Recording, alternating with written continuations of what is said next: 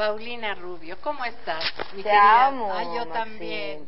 Desde chiquita. Siempre te he querido porque mi papá y mi mamá te quieren mucho y como sé que tú quieres mucho a mis papás, yo sé que tú me quieres bien. Mucho. Y te amo y quiero a tus hijos y me simpatizas, te adoro gracias. siempre. ¿Cómo estás, mi Pau, querida? Muy bien, muy ilusionada de esta etapa aquí en México, de todos mis proyectos eh, nacionales, internacionales. Qué padre. Sobre todo mis niños. Ay, tus niños están divinos. Sí, ¿verdad? Pero qué, qué bonita etapa estás viviendo, ¿no, Pau? Gracias a Dios sí. Estoy, eh, estamos en un momento en, en, en, mi casa, en mi familia, pues con muchos proyectos, realizándonos, ayudando, aportando, haciendo nuestros cimientos fuertes y tirando la construcción para arriba. Claro. Todavía tienes dos bebecitos muy chiquitos a sacar adelante. Baby, super baby. Pero sí, me gusta construir grandes cimientos para poder echar arriba la casa, muchos pisos para arriba. Me gusta la topetitud. me gusta volar alto, Martín. alto, mi Pau, Me Gracias al, al, a la seguridad y y a esos cimientos familiares, mi abuela, mi madre, mi padre. Y de alguna forma sí, me dieron la libertad, me dieron todas las herramientas y ahora extiendo mis alas y, sí, a veces vuelo bajo, pero luego me voy para arriba y vuelo bien alto. Oye, y ahora formando esta nueva familia padrísima, ¿no? Bueno, tengo una gran familia. Eh, mi mamá está emocionada y volcada por mi familia, mi hermano. Eh, no sé, hay, cosas muy bonitas que no se ven, que no se tocan, pero viven en tu corazón y son lo más importante que hay. Sí, ¿cómo está el bebecito? Eros. Tiene ocho meses, cumplió ocho meses ayer. ¿Ya ocho? Ay, qué rápido, ¿verdad? ¿Cómo se ve el tiempo de volada? Me encanta el reggaetón y las rancheras, este niño. Te juro por mi madre, las rancheras la canta y... Ay, ay, ay, Y el reggaetón, pues como es de Miami, chica, ya, tú sabes. Está un boom, boom. Y aparte está empezando a, a gatear, entonces ama estar en sus piernas. Tengo un bíceps como nunca. Oye, pero Andrea no está celoso. Poquito. Mira, el otro día no lo había visto celoso. Hicimos la portada de una revista que sale en enero y hicieron estos videos behind the scenes y detrás de las cámaras. Y yo no había visto estos videos y el otro día, el domingo, llegamos a mi casa y estábamos viendo todo lo que habíamos hecho en la semana. Y lo vi en los videos de detrás de cámaras, un poquitín celoso, poquitín, pero yo creo que es normal. Sí, claro. Pero también como mamá es un reto el cómo manejar eso y cómo arropar la situación y él es el hermano mayor, ama ser el líder y enseñarle a su hermanito el traje de ninja, el traje del Sanzai, el traje de eh, Batman. Gracias a Dios ya, ya, ya dejamos un ratito Batman, ahora Ninjago. Ah. Pues ahí me voy a ir, no sé cuánto me va a durar el Ninjago, me duró el Batman 5. y, y ahí, pues, ya sabes, el, el, la psicología, el reversible psychology, todo eso. Ahí voy aprendiendo un poquito. Claro, no vienen los niños, no vienen con manual, que es lo malo.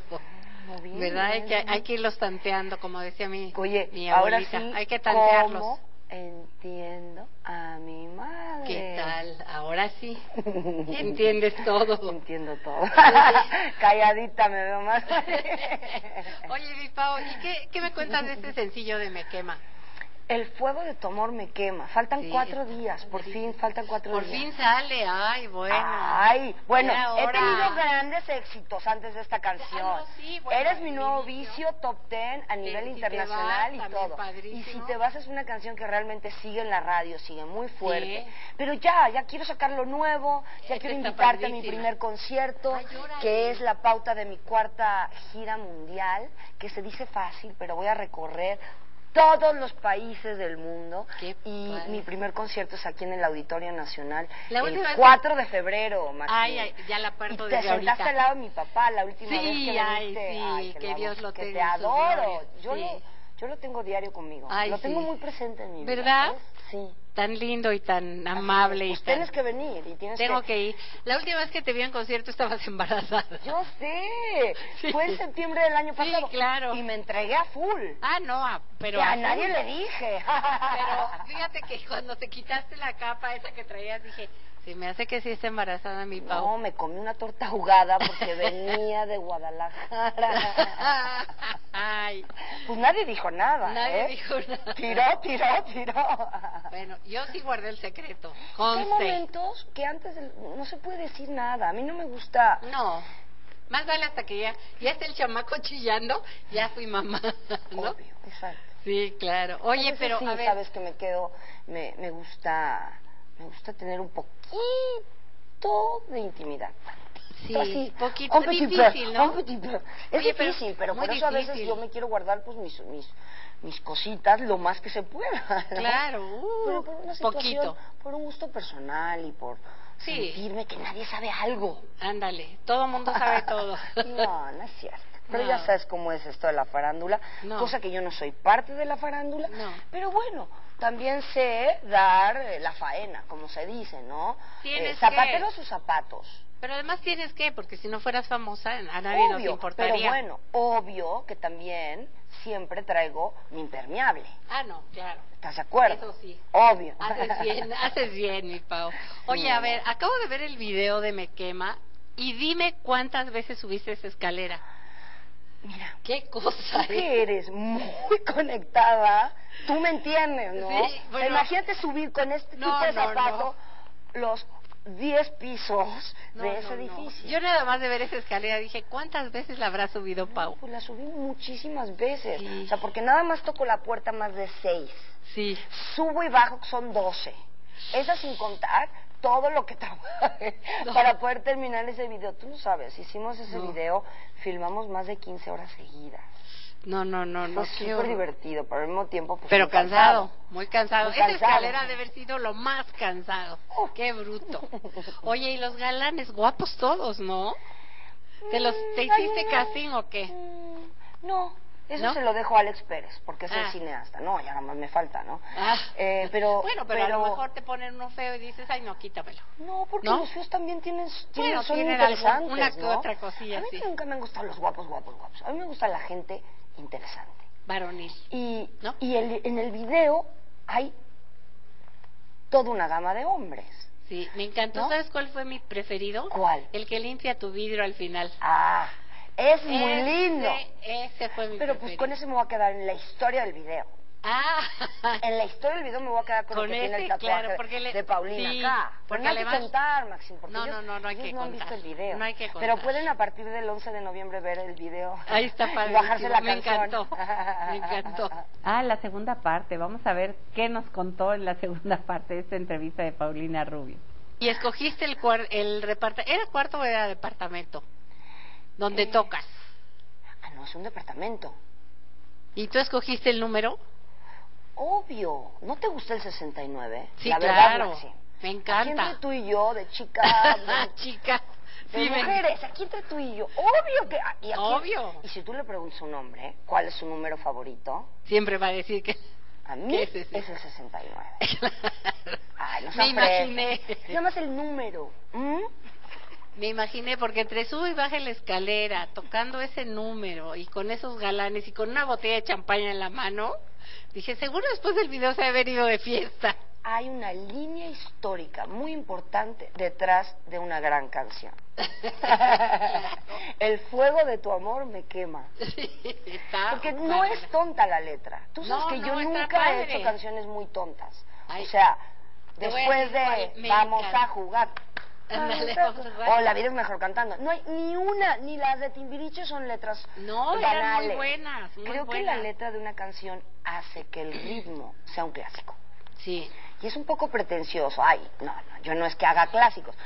Me encantaría que en algún momento esta canción se vuelva como en en las bodas, como Ajá, tocan el último adiós, ándale, pues yo también quiero que esta canción se toque Puede el ser. año nuevo y se toque para ir al gimnasio y también eh, para el ringtone del teléfono.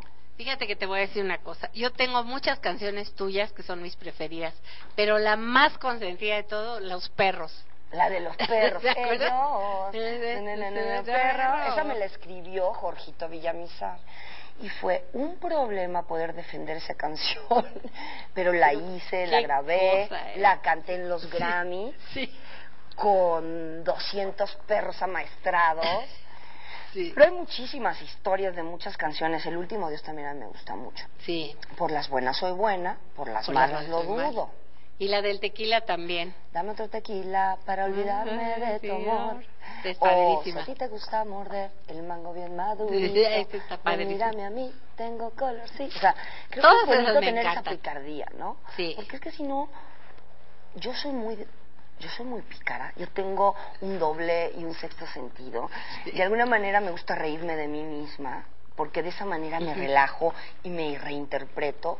Y es un muy buen ejercicio psicológico ante todo momento de crisis o ante todo obstáculo. Reírte de una situación dramática o reírte de un momento no tan bueno Hace, bueno. Hace mucho más llevadero el asunto, digámoslo así.